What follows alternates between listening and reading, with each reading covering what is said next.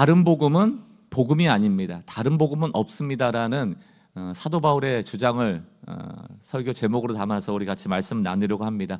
오늘도 어, 우리 삶 가운데 복음이 부흥되어지기를 원합니다. 우리 옆분하고 좀 말씀 듣기 전에 인사합시다. 당신에게 복음이 부흥되기를 원합니다. 같이 한번 인사 나누겠습니다. 예, 부흥이라는 건 되살아난다는 거거든요. 의미가 그 능력이 되살아나길 바랍니다. 갈라디아서 1장 6절로 10절 한 절씩 교독하겠습니다. 6절 제가 먼저 읽겠습니다. 그리스도의 은혜로 너희를 부르신 이를 이같이 속히 떠나 다른 복음을 따르는 것을 내가 이상하게 여기노라. 다른 복음은 없나니 다만 어떤 사람들이 너희를 교란하여 그리스도의 복음을 변하게 하려 함이라. 그러나 우리나 혹은 하늘로부터 온 천사라도 우리가 너희에게 전한 복음 외에 다른 복음을 전하면 저주를 받을지어다. 우리가 전에 말하였거니와 너희가 받은 것 외에 다른 복음을 전하면 저주를 받을지어다. 함께 읽습니다. 이제 내가 사람들에게 좋게 하랴 하나님께 좋게 하랴 사람들에게 기쁨을 구하랴 내가 지금까지 사람들의 기쁨을 구하였다면 그리스도의 종이 아니니라. 아멘. 이게 뭐 경제 금융의 용어라고 하던데 현상 유지 편향 이런 시사 용어가 있습니다. 말 그대로예요. 현상을 유지하도록 편향된 결정을 한다는 겁니다. 그러니까 사람은 뭘 바꾸는 거를 극도로 싫어요. 싫어합니다. 그러니까 이게 굉장히 드라마틱한 이득이 아니면 웬만하면 손해를 보더라도 그냥 유지하려고 한다는 겁니다. 그러니까 우리가 결정하고 판단하는 게 생각보다 논리적이거나 합리적이지 않을 때가 많아요. 그냥 지금의 현상을 유지하려는 성향대로 편향된 치우친 결정을 하기가 쉽다는 겁니다. 매몰 비용의 오류 이런 말도 있습니다. 매몰 비용이라는 건 그냥 시간의 흐름에 어떤 비용을 내버려 두는 거예요. 다시 회수할 수 없는 비용, 그게 매몰 비용이거든요. 근데 왜 이런 일들이 벌어지냐 하면 우리 판단의 오류 때문이에요. 그러니까 시간이 지났는데 아까운 거예요, 이게. 그리고 돈을 냈는데 이게 회수를 못 하더라도 이게 내가 투자한 게 아까운 거예요. 예를 들면 여러분들 영화를 보러 갔어요. 요즘 영화 비용이 얼마인지 잘 모르겠습니다. 예를 들어 아주 큰 돈을 내고 갖다 칩시다. 근데 영화가 내가 생각한 것보다 너무 재미가 없어요. 그냥 안 보고 싶어. 그럼 여러분 나와요, 보고 있어요. 보고 있죠. 그게 매몰 비용이에요. 왜냐하면 돈 냈으니까 아깝잖아요. 이게 우리의 판단, 결정에 오류를 주는 거거든요. 나와도 되는 겁니다. 그 두 시간 동안 시간의 비용은 우리가 계산하지 않는 거죠. 그러니까 우리는 어, 일단 결정하면요. 이 결정이 잘못되더라도 내가 그 책임을 져야 된다라는 죄책감이라든가 혹시 이거를 바꿨다가 잘못될 것에 대한 후회에 대한 결정들 하고 싶지 않기 때문에 현상 유지하려고 합니다. 여러분 제가 그림 하나 보여드릴게요. 뭐 여러분들 많이 보셨을 겁니다. 동그란 바퀴를 짐에다 싣고 네모난 바퀴로 수레를 끌고 가고 있습니다. 뭐 영어 밑에 있는 뜻 뭐 금방 아실 수 있죠. 그 휠을 바꾸는데 바퀴 바꾸는데 그런 시간이 없다. 바퀴 바꿀 시간이 없다. 우린 가야 된다. 여러분 저거 바퀴만 바꾸면 훨씬 더 빨리 갈 수 있잖아요. 이게 바로 현상 유지 편향입니다. 하던 대로 하는 거예요. 이게 우리 신앙에도 그대로 적용이 됩니다. 우리는 교회 오셔가지고 신앙생활 특히 오래 하신 분일수록 좀 마음에 갈등이랄까요? 위기를 경험할 때가 많은 이유가 뭐냐면 저한테도 좀 볼멘 소리를 하시는 분들이 종종 계십니다. 아, 목사님 다 이해가 되고 다 맞는 것 같은데 그럼 제가 오랫동안 해왔던 신앙은 뭐 다 잘못된 겁니까? 이제 이렇게 자기 신앙을 부정하는 듯한 압박을 받으시는 분들이 계시는 것 같아요. 예, 그게 의도하는 바입니다. 압박을 받으라고 드리는 거예요. 네모 바퀴 가지고는 여러분들 굴러갈 수가 없어요. 굴러갈 수가 없습니다. 복음이라는 이 동그란 휠로 우리의 신앙을 얼마든지 힘있게 갈 수 있는데 복음을 싫은 채 엉뚱한 바퀴로 가는 것 그거는 빨리 변화를 시켜야 되는 겁니다. 이단들이요 몇 년 지나서 이단인 걸 알아요. 본인들이 잘못된 걸 아는데도 왜 못 나오는지 아세요? 그게 매몰 비용입니다. 내가 선택한 것에 대해서 누군가에게 지적받기도 싫고 너 그것 봐, 너 틀렸잖아. 후회되지. 이런 것도 싫어요. 그리고 과연 이 이단의 공동체에서 나가서 다른 교회를 갔을 때 더 좋을까에 대한 리스크도 감당하기 싫은 거예요. 이단인 줄 알고도 있습니다. 똑같아요. 우리가 지금 다른 복음에 대한 이야기를 하고 있잖아요. 복음만 예수만을 강조할 때마다 늘 다른 복음을 얘기하면서 피하고 싶은 마음들이 우리에게 있거든요. 그게 현상을 유지하고 싶은 편향적 사고입니다. 우리가 다 출발선에 다시 서셔야 돼요. 갈라디아서를 보면서. 갈라디아서나 로마서가 믿음 없는 사람들에게 지금 복음을 전하는 게 아니고요. 이미 믿음을 가진 갈라디아 지역 교회와 로마에 있는 교회를 향하여 복음을 다시금 전하는 겁니다. 왜? 복음 아닌 것을 복음으로 여기고 있기 때문이에요. 그리고 하던 대로 하자. 이런 마음에 지금 사도 바울이 일침을 가하는 겁니다. 오늘 우리도 복음에 비추어 우리의 신앙을 점검하여 바른 신앙으로 나가는 것, 그것만이 가장 탁월한 선택입니다. 비슷한 것으로는 안 돼요. 유사 복음으로 안 됩니다. 오늘 사도 바울이 다른 복음이라는 위기 앞에 놓인 갈라디아 지역 교회에게 너무 심각한 문제라는 인식을 가지고 1절에서 5절까지 인사말을 마친 후에 보통은 축복의 글을 하거든요. 근데 축복 없어요. 생략된 채로 6절 어, 그냥 직설적으로 나갑니다. 그 6절에서부터 오늘 10절까지 주제가 뭐냐면 다른 복음은 없어. 그런데 너희 보니까 야 어떻게 그렇게 다른 복음을 쉽게 떠날 수 있어? 요즘 말로 좀 젊은 사람들 말로 하면 이 오해 없이 그냥 여러분 이해를 돕기 위한 거니까 미친 거 아니야 이거예요. 너 미친 거 아니야? 어떻게 복음을 떠나? 굉장히 강력한 어조로 얘기하고 있습니다. 그러면서 주제가 뭐라고요? 다른 복음은 없다. 이게 여러분들 좀 오해할 수 있는데 제가 조금 이게 설명이 가능할지 모르겠습니다. 이게 다른 복음이 없다라는 얘기는요. 복음도 있고 다른 복음도 있는데 복음이 좀 더 맞아 이런 게 아니에요. 복음에 무언가 더해지거나 빼지거나 대체되면 아예 존재할 수 없는 다른 복음 그러니까 없다라는 거 그런 건 없다라는 거예요. 아예 부정인 겁니다.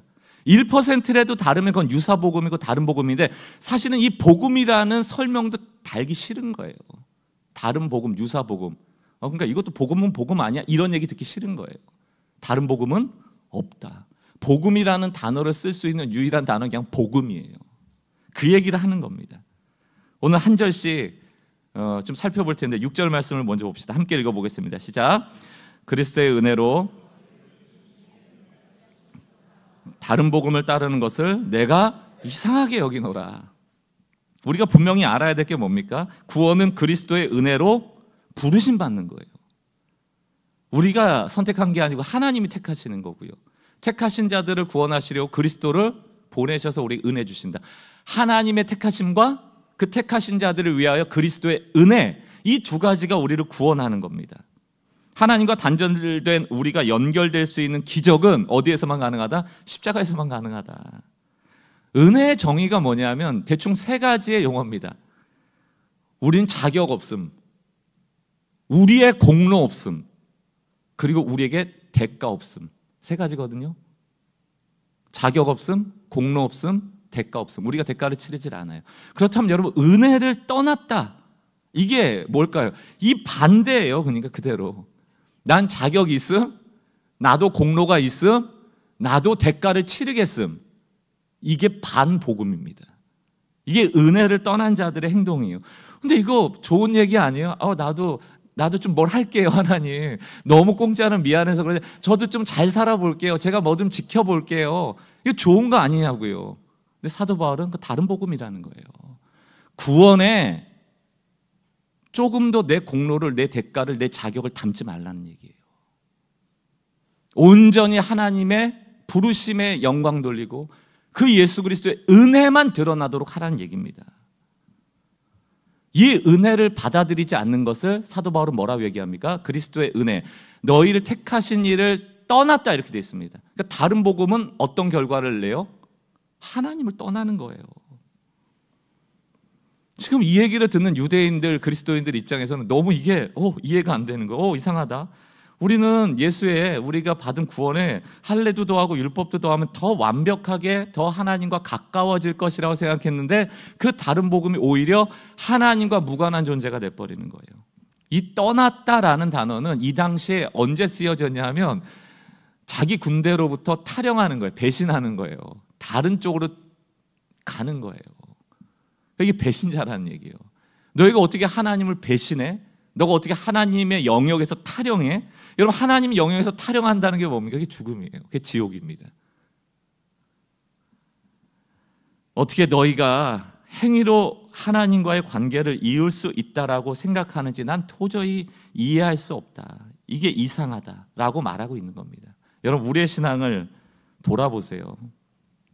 우리의 신앙은 우리의 구원이 오로지 나를 자격 없는 나를 택하셔서 아무 공로 없는 나를 택하셔서 내가 치러야 될 십자가의 대가를 예수께서 대신 치러 주심으로 내가 구원받았다. 나는 대가도 안 치렀어. 그런 철저한 겸손함이 우리 신앙 가운데 있는가 봐야 돼요. 왜 다른 복음으로 가는가? 결국 은혜의 반대말 뭐라고요? 대가도 내가 치르고 나한테 공로도 있고 자격도 있다. 이게 한 단어로 정의하면 자기의. 이게요, 자기의라는 건요, 본능이에요, 인간의. 그러니까 여러분, 이 중에 누가 박수 받기 싫어하고, 칭찬 받기 싫어하고, 어, 그거 너가 해냈구나. 인정받기 싫어하는 사람이 누가 있습니까? 여러분, 그런 게 우리의 삶의 의욕이 되고 추진력이 될 때도 있잖아요. 근데 구원은 달라요. 구원은 우리의 추진력으로 가는 게 아닙니다. 오직 하나님이 행하신 일. 그래서 사단은요, 우리의 본능을 자극합니다. 늘 시험할 때. 야, 은혜가 말이 돼, 공짜가 말이 돼. 뭐 너는 그 로봇이냐? 아무 존재감 없어? 그리고 나서 너 그럼 십자가의 은혜로 다 대체됐으면 너는 그냥 막 살아도 돼. 이게 말이 돼. 너도 뭔가 해야 될 게 있을걸? 그리고 여러분 타 종교들을 보잖아요. 예를 들어 이슬람 같은 데를 보십시오. 이슬람 같은 데는요. 악한 행동과 선한 행동을 저울에 달아요. 누가 구원받을까요? 선한 행동을 더 많이 하면 구원받아요. 이게 더 납득이 되지 않으세요? 내가 예를 들어 누굴 때렸어. 아 이거 어떻게 하지? 그럼 내가 이 친구한테 먹을 것도 사주고 뭐도 해주고 두 가지를 선한 일을 해. 그러면 하나는 잘못한 일하고 퉁치고 하나가 남잖아요. 그럼 내가 어떤 존재가 되는 거? 제법 선하잖아요. 그래서 천국 가는 거잖아요. 얼마나 이해가 쉬워요. 하나님, 저도 좀 역할을 해볼게요. 그러니까 우리 주변에 어떤 사람이 많습니까? 아유 교회 안 가도 하늘은 착한 사람 복 주시고 너같이 착한 사람이 천국 안 가면 누가 가냐 이러잖아요. 못 가요. 그리고 일단 이분이 오해하는 게 그분 착하지도 않고 그렇습니다. 사단은 훨씬 더 이해가 쉽게 우리에게 접근합니다. 그리고 서 여러분 이슬람은 구원받으면 어떻게 되는지 아시죠? 피 묻은 채 성전에 임했던 사람이 죽어서 천국 가면 그 축복 한번 책 찾아서 읽어보세요. 이슬람에 대한 책들. 그 천국이 어떤 천국인지 아세요? 오감을 자극하는 천국입니다. 성적으로 이 본능을 이 욕구를 충족시킬 수 있는 것이 천국이거든요. 그러니까 이 땅에 막 전쟁도 많잖아요. 이 중동 지역 가면 이게 뭐 사는 게 사는 게 아니니까 죽어서 천국 가길 원하는 거예요, 사람들이. 그래서 폭탄 들고 뛰어들 수가 있는 거예요. 이해가 되니까 그러는 거예요, 이해가 되니까. 그러나 반대로 복음은 이해를 요하는 게 아니라니까요. 믿음을 요구하는 거예요. 하나님이 하신 일이다. 로마서 10장, 로마서 10장은 어떤 글이라고 얘기했습니까? 10장은 로마서 9장에서 11장까지는 유대인이 구원받지 못하는 것에 대한 사도 바울의 안타까움, 이렇게 주제가 정해져 있는 겁니다. 10장 3절, 4절. 하나님의 의를 모르고 자기의 의를 세우려고 지금 유대인 동료한테 하는 얘기예요. 힘써 하나님의 의에 복종하지 않았다. 이게 자기가 열심히 산 게 결국 하나님의 의에 열심히 복종하지 않은 게 되는 거예요. 다른 복음을 주장하고 열심히 살아가는 게 결국 복음을 반대하며 열심히 살아가는 거예요. 사절 뭐라고 되어 있습니까? 그리스도는 모든 믿는 자에게 의를 위하기, 이루기 위하여 율법에 맞춤이 된다. 그러니까 결국 율법을 완성할 자는 내가 아니고 예수 그리스도시다. 복음 아닌 수많은 종교, 다른 복음도 마찬가지고요. 결국 그게 누구를 향해 있냐면 나 자신을 향해 있는 거예요. 나도 괜찮은 사람이라고 인정받고 싶은 그 욕구로부터 출발하는 거예요. 성경에서 자기를 위하여라는 수식어는 항상 우상숭배와 직결이 됩니다. 다른 복음은 우상숭배예요. 나를 숭배하는 거예요. 내가 이루어냄으로 사랑을 받고 이루어냄으로 구원의 완성을 이룬다라는 우상숭배입니다. 제가 요즘 종종 목요일 날도 얘기하고 얼라이먼트도 얘기했는데 뭐 제주도에 이렇게 가서 그런지 거기 책방 갔더니만 바다에 대한 책이 있는 거예요. 그책 요즘 읽고 있거든요. 그 안에서 저를 참 감동시켰던 글 중에 하나가 인생은 등산이 아니라는 거예요. 오히려 항해라는 거예요. 그러고 보니까 맞는 말 같아요. 그 글 저자가 뭐라고 얘기하냐면 항해할 때는 막 파도가 밀려와서 나에게 공격을 하잖아요. 근데 산은 공격을 안 한대요. 맞잖아요. 산은 그냥 길이 있는 거잖아요. 정복할 수 있잖아요. 그러나 바다는 심해 깊은 곳은 아직도 정복하지 못한 곳이거든요. 우리가 신앙생활을 할때 등산하듯 하시는 분이 계세요. 내가 이 신앙을 완성하리라 하나님께 이루어 드리리라 내가 가장 좋은 사람이 되보리라 못합니다. 등산처럼 여기시면 안 돼요. 우리로서 완성할 수 있는 일이 아닙니다. 항해는 어때요? 한시도 눈을 뗄 수 없어요. 폭풍이 밀려고 바람이 불면 우리는 저항할 수 없다. 광풍 앞에서 우리는 죽는다. 그러면 그 항해할 때 우리가 할 수 있는 유일한 방법은 뭡니까? 우리의 키를 하나님께 맡기고 그 옆에 바짝 붙어 있는 거예요. 그게 신앙입니다. 그분이 이 배를 이끌어 가시고 우리의 신앙을 완성시킬 때 영광스러운 그 순간에 우리가 함께 동참하는 것. 그분이 이루어 가시는 것. 그래서 사도 바울의 늘 고백이 뭡니까? 나의 나된 것은 하나님의 은혜라. 이 인생의 풍랑 앞에 그래도 이 소명 감당할 수 있었던 것은 내가 해낸 것이 아니고 그가 이루신 일이라. 요셉을 보십시오.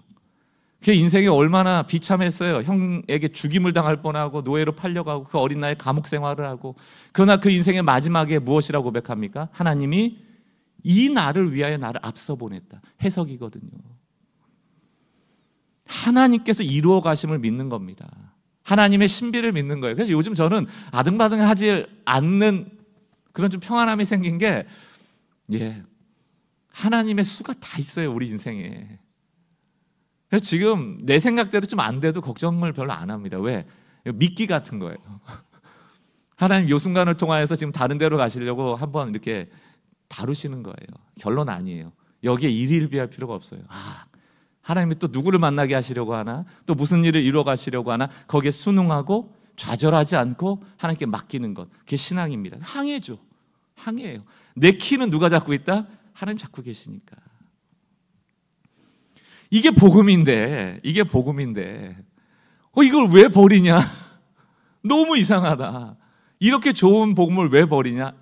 내가 이상히 여기노라 말하고 있는 겁니다. 그러면서 7절 뭐라고 되어 있습니까?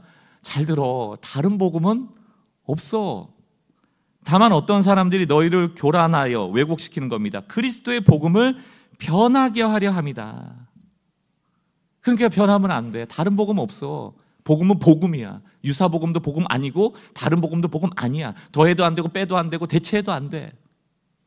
사도행전 4장 12절 말씀 우리 같이 한 목소리 읽어보겠습니다. 시작.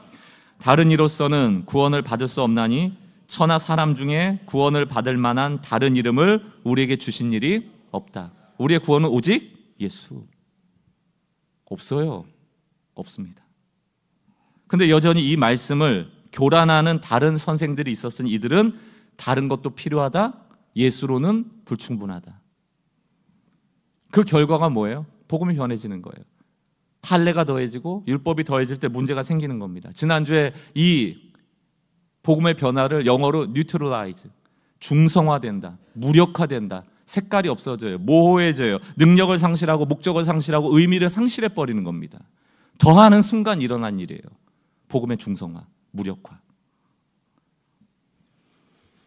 여러분, 복음을 이렇게 강조하면 늘 저항이 심해지더라고요. 저 유튜브 보면 댓글이 엄청 심해져요. 예수만 강조하면요.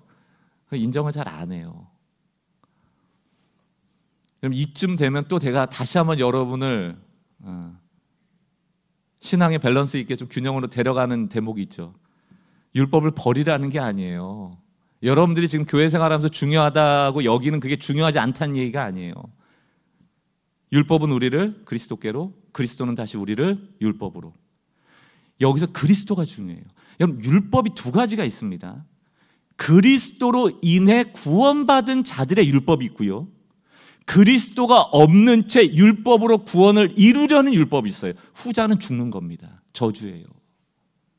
우리의 율법은 어떤 율법입니까? 그리스도로 인하여 구원받은 자들에게 주어지는 법이에요. 그럼 성경에서 뭘 얘기하고 있습니까? 아담과 하와로 우리에게 죄가 주어졌고 죄가 죄인 줄도 모르고 살아가던 인생에게 전적인 타락을 통하여 하나님을 찾지도 볼 수도 없는 그런 절망의 인간들에게 율법이 주어진 겁니다. 율법이 주어졌다는 건 뭐예요? 야, 이건 죄야. 하나님이 기뻐하시지 않아. 죄가 죄인 줄로 아는 것. 그럼 이제 율법이 오면 문제가 생겨요. 이전에는 죄가 죄인 줄 몰랐죠. 근데 이젠 죄인 걸 알죠. 죄의 심판은 죽음이거든요. 하나님과 단절이거든요. 그 율법을 알았을 때 우리에게 주어지는 건 죽음입니다. 왜? 우리 율법을 완벽하게 지킬 수 없어요. 그래서 사도 바울이 율법 아래에 있는 자는 저주 아래에 있다 한 것이 이 얘기예요. 우리로서는 해결할 수 없음. 그럼 여러분 율법을 아는 순간 우린 죽을 목숨이 된 거예요. 우리 인생은 지옥이 된 겁니다. 그러나 이 문제를 누가 해결하세요? 아까 로마서 10장 4절 말씀 이 율법의 마침이 되신 분이 누구세요? 예수 그리스도가 이 문제를 해결하시는 거예요. 우리는 할 수 없지만 구원은 상대 평가가 아닙니다. 이슬람처럼 저 사람보다 나아야지 구원받는 게 아니에요. 절대 평가예요. 예수가 있는가 없는가예요. 누구 한 사람도 의인은 없다. 그러니까 신앙생활하면서 잘난 척하지 말라는 얘기입니다. 상대평가로 나의 의로움을 드러내지 말라는 거예요. 그거야말로 나를 숭배하는 우상숭배의 전형적 예라는 겁니다. 야고보서 2장 10절 말씀도 함께 읽어볼까요? 시작. 누구든지 온 율법을 지키다가 이게 하나님이 주신 율법이에요. 우리가 제사 드릴 때 왜 제사 드립니까? 하나라도 어겼을까봐 제사 드리는 거예요. 내가 의도하지 않은 죄까지도 혹시 몰라 하나님이 죄로 여기실까봐 제사 드리는 거예요. 온 율법을 지키다가 하나를 어기면 모두를 어기는 것이 된 이게 바로 하나님의 거룩함이거든요. 우리가 이 거룩함에 도달할 수 있는가? 없다는 겁니다. 도달할 수 있었다면 그리스도가 왜 오셨겠어요?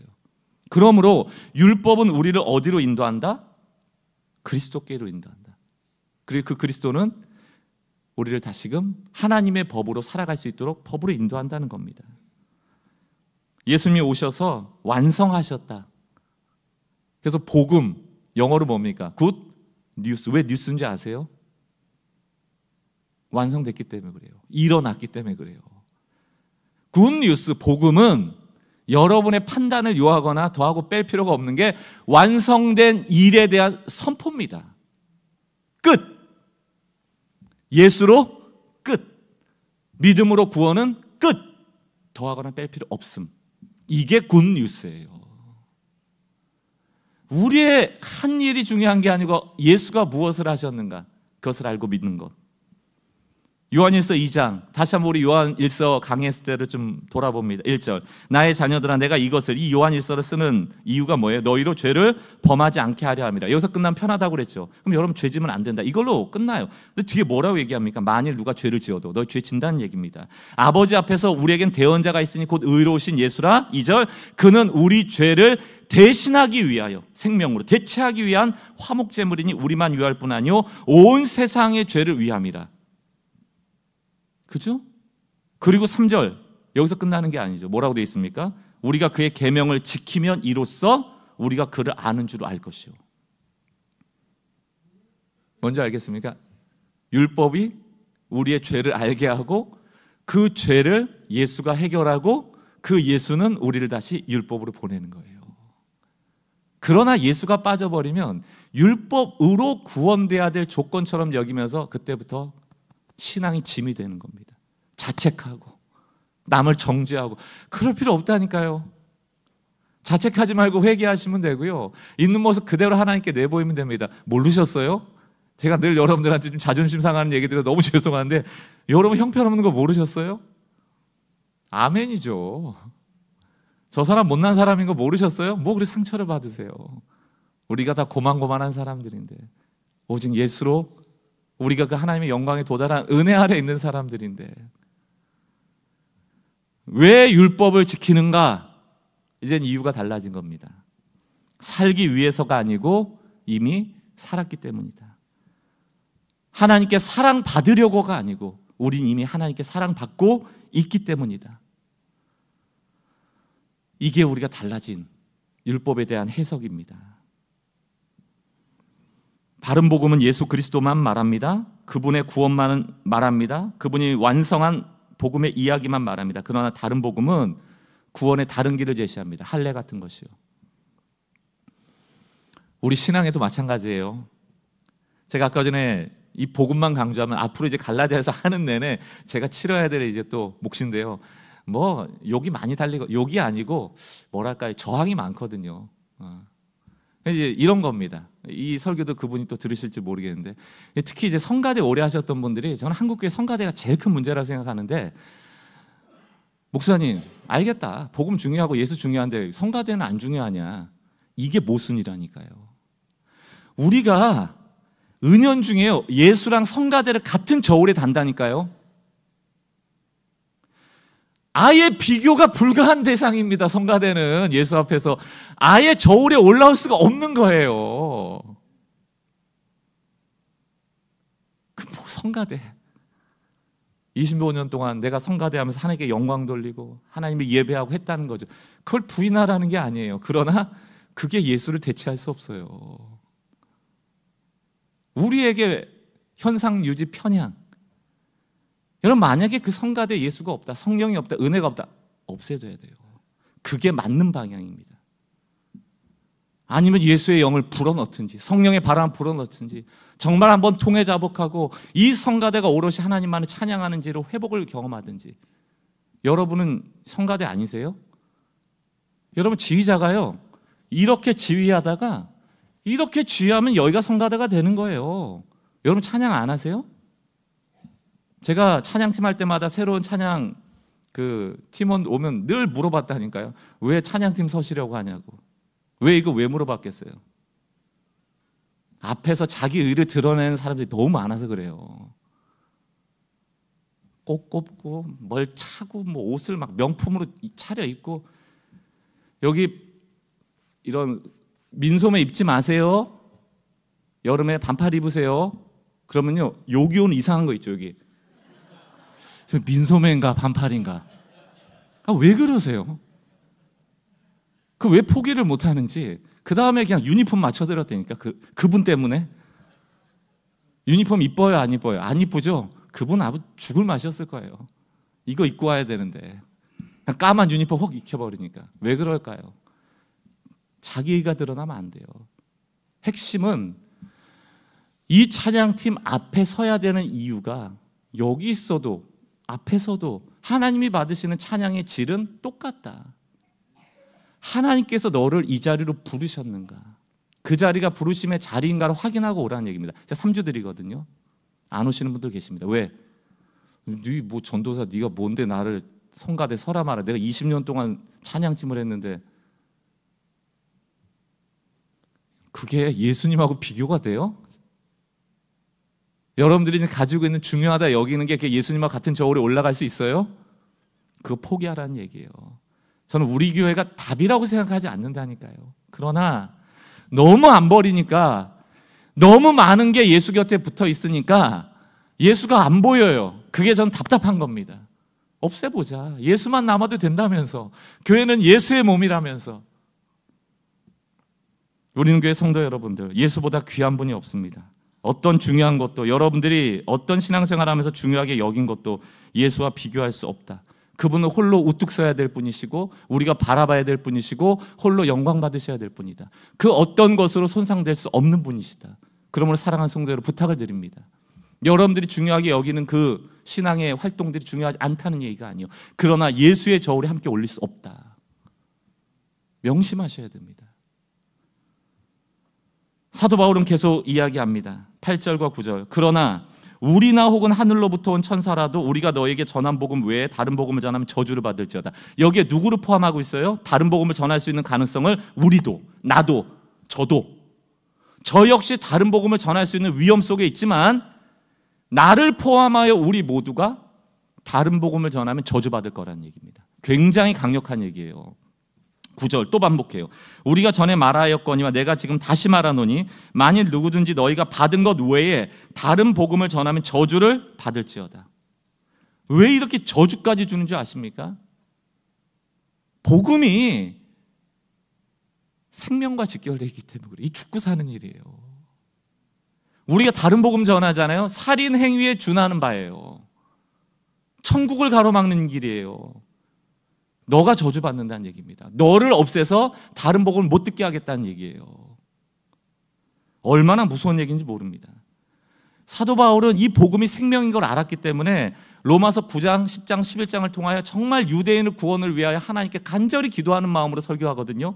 9장 3절을 보십시오. 나의 형제 곧 고륙 친척을 위하여 유대인들이요. 구원받지 못하는 유대인들, 유대교에 빠져 있는 유대인들, 내 자신을 저주를 받아 그리스도에게서 끊어질지라도 원하는 바다. 하나님 나를 구원해서 제하시고 그들에게 생명을 주십시오. 이 얘기거든요. 복음은 생명이에요. 죽고 사는 문제예요. 선택이 아니에요. 성가대 같은 데 같이 저울질 될 때가 아닙니다. 성가대는 없어도 있어도 상관이 없어요. 죽고 사는 문제가 아니에요. 중요하지 않다는 얘기가 아닙니다. 그러나 예수는 복음 죽고 사는 일이에요. 그러므로 10절 로마서 10장 1절과 2절을 보십시오. 형제들아 내 마음에 원하는 바와 하나님께 구하는 바는 이스라엘을 위함이니 곧 그들을 구원받게 하려 합니다. 2절 내가 증언하노니 그들이 하나님께 대한 열심은 있으나 할례, 율법, 십계명 올바른 지식을 따른 것이 아니다. 이 올바른 지식이 뭡니까? 바로 복음이에요. 아무리 열심히 내도 하나님의 바른 지식 없는 열심은 종교 생활이 되는 거예요. 생명이 없어요. 로마서 10장 13절 결론이죠. 같이 한번 읽어보겠습니다. 시작. 우리의 구원이 어디로부터 옵니까? 오직 예수. 오직 예수. 여러분, 저는 저희 교회가 요즘 유튜브 조회수가 거의 뭐 4만 명 가까이 되잖아요. 엄청난 수예요. 모르시는 분들도 계실 수 있지만. 우리가 4만 명 만들려고 했어요. 우리 교육자회 할때 여기 한번 다 붙잡고 물어보십시오. 우리 조회수 늘릴 게 어떻게 할까? 해본 적이 없어요. 그냥 일주일에 설교 말씀 여러분들한테 쇼츠로 만들어서 월수금 옛날에는 그 제공해 드렸거든요. 주중 예배가 없었으니까. 그거를 꾸준히 했던 건데 그게 하나님께서 뭐 어떻게 어떻게 하시다 보니까 인원이 됐습니다. 그리고 제가 깨닫게 된 게 있어요. 저희 교회 설교로 들어오시는 분들은 참 좋은 분들이 오십니다. 우리 교회 성도들도 그렇지만. 근데 그 댓글을 보면 정말 절박해요. 복음에 목마른 사람들, 본질에 목마른 사람들, 오직 예수에 목마른 사람들, 특히 가난한 성도들, 교회라는 그 틀 안으로 다시 들어가서 소모적인 종교 생활 더 이상 하고 싶지 않은데 교회를 찾지 못해서 그 신앙을 지키기 위해서 떠난 사람들. 지금도 제가 왜 제가 대표 기도할 때마다 그 맨 마지막에 골방에 어떠한 이유로 홀로 예배 드리시는 분들을 중보하는 줄 아세요? 그런 분들이 오늘의 복음을 듣기 위해 이 자리에 있기 때문입니다. 여러분, 우리의 소명이 뭡니까? 이 교회 박광림 목사가 뭐 우리는 교회가 구원을 일으켜요? 사도 바울이 얘기한 것처럼 저도 까딱하면 뭔가 조금 실수하면 다른 복음을 만들 수 있는 잠재적 죄인이거든요. 하나님이 역사하셔야 된다. 여러분들이 이 교회로 누구를 초대하고 전도한다? 그럼 여러분 살피셔야 되는 거예요. 이 교회에 과연 예수가 있는가? 이곳에 성령의 역사가 있는가? 이곳에 참 복음이 있는가? 그 복음이 그 예수가 그 성령의 바람이 생명을 살리는 거예요. 그럼 교회가 무엇입니까? 여러분이 교회죠. 여러분의 신앙이 오직 예수로 충만해 있는가? 오직 복음에 감사하고 있는가? 그 성령께서 날마다 주시는 진리 앞에 우리가 순종하고 있는가?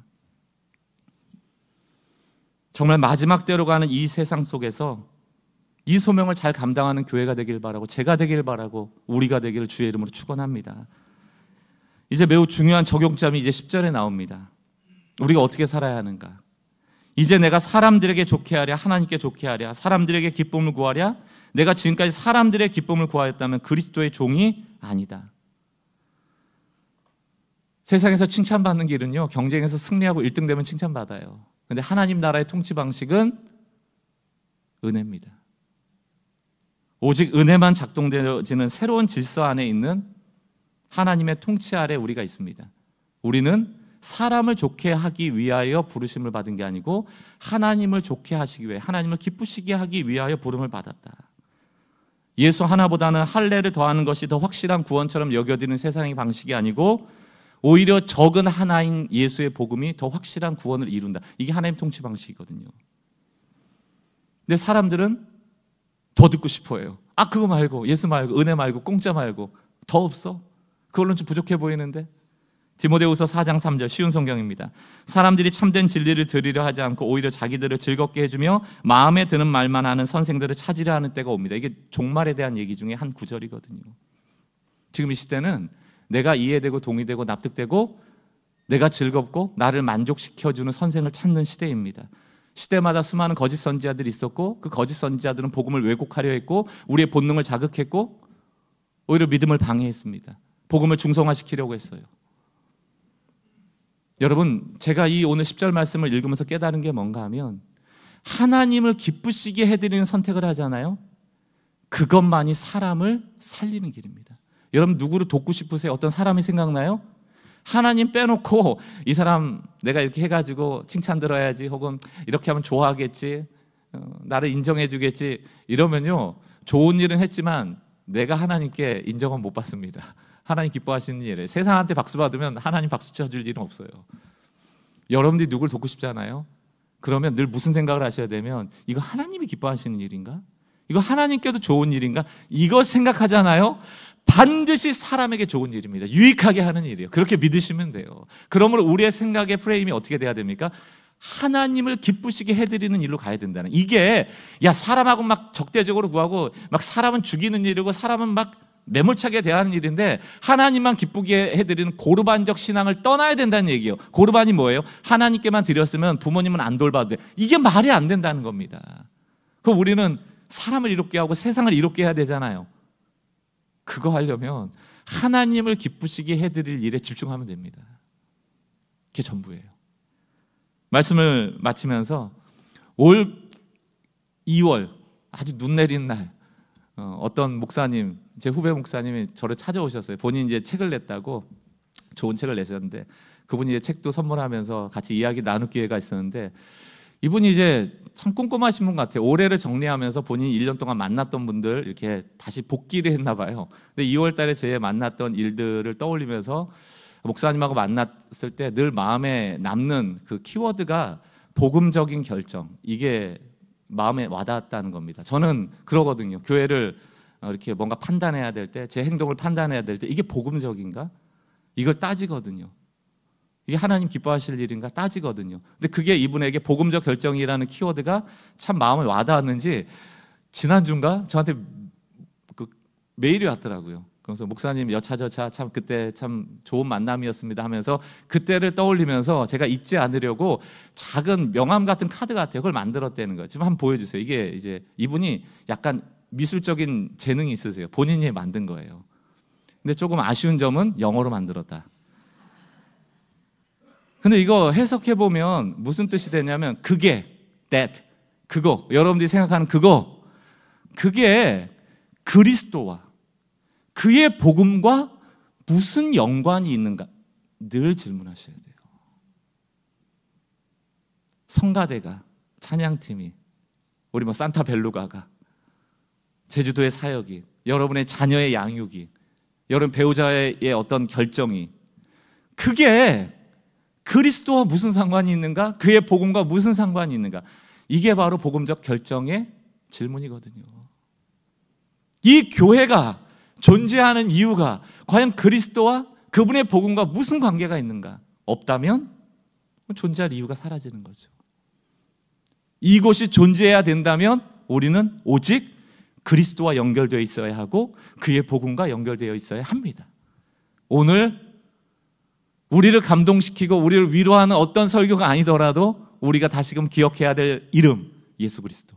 그분이 드러나고 그분을 다시금 우리가 생각하고 그 은혜를 감사하고 찬양할 수 있다면 그것이 이 교회가 존재하는 목적입니다. 여러분들이 그렇게 늘 중요하게 여기는 그것들 질문해 보세요. 그래서 뭐 성가대든 뭐 부서의 부장 완장이든 아니면 무슨 당회든 뭐 제자 훈련이든 뭐 성경 공부든 다 좋습니다. 다 넣어서 물어보세요. 그게 그리스도와 그의 복음과 무슨 관계가 있는가? 관계가 있으면 하시면 됩니다. 그럼 그것은 하나님을 기쁘게 하는 일이고 또한 사람을 살리는 일이 될 줄 믿습니다. 오늘 오롯이 주님만을 높여드리는 은혜가 한 주간 우리 삶 가운데 있기를 주의 이름으로 축원합니다. 우리 같이 한번 찬양했으면 좋겠어요. 아, 너무 단순한 가사의 찬양이기 때문에 우리가 소홀히 부를 수 있지만 오늘 들은 이 말씀을 온전히 담아서 예수님이 우리를 위하여 대신하여 완성하신 그 일을 기억하며 예수의 이름을 높여드렸으면 좋겠습니다.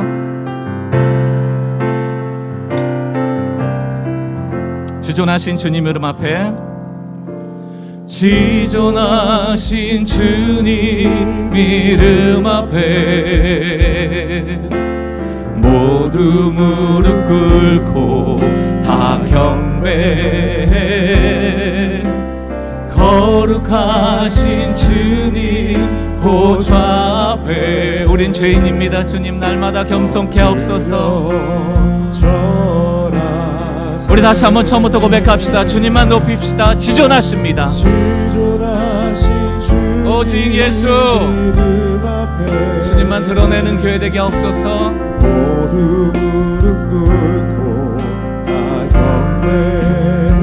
거룩하신 거룩하신 주님 보좌 앞에 우리를 보시는 주님 찬양 받으십시오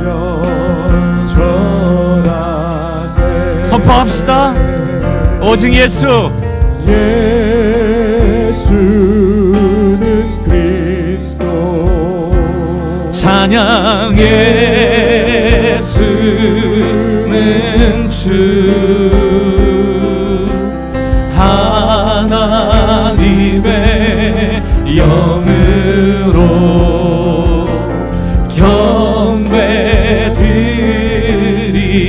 예수는 그리스도 예수님만 우리의 주인.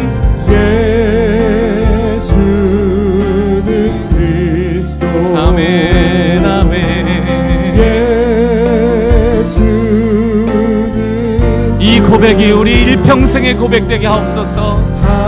하나님의 영으로. 주님만 다시 한번 우리 예수의 이름을 부릅시다. 예수 우리의 구원자 그리스도. 예수는 그리스도. 찬양 예수는 주. 하나님의 영으로. 하나님의 영으로 경배드리리 나에게 주인이 있습니다. 오직 예수. 나에게 나에게 주인이 있음을 아는 것.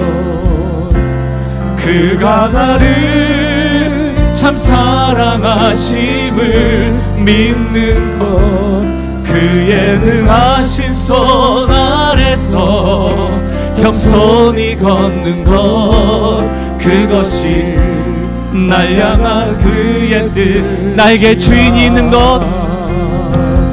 나에게 주인이 있음을 아는 것.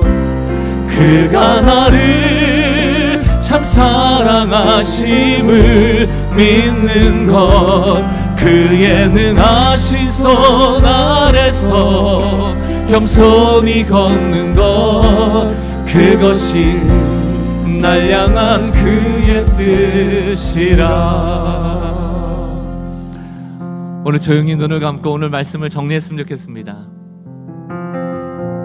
우리의 신앙의 방향이요 오직 예수만 오롯이 높아지고 드러나도록 하는 게 전부입니다.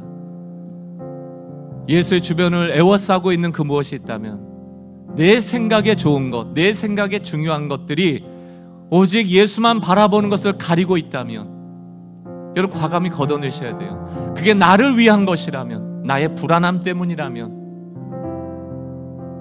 현상 유지를 위한 편향적 사고라면 벗어나셔야 됩니다. 왜? 복음과 다른 복음은 한 끗 차이가 아니에요. 죽고 사는 일입니다. 주님, 내가 오직 복음 아래 있기를 원하고, 복음을 전하기 원하고, 내 삶에 그 모든 것이 복음과 관계가 있는가, 예수와 관계가 있는가, 복음적 결정을 하며 살아가는 인생 되게 해달라고. 오늘 주신 말씀에 반응하며 기도하실 분은 기도하시고, 회개하실 분들은 회개하시고, 다시 한번 마음으로 오늘 말씀을 깊이 새기는 묵상 가운데 들어가실 분들은 또 묵상하시면 되겠습니다. 자유롭게 주님과 교제하는 시간 갖겠습니다.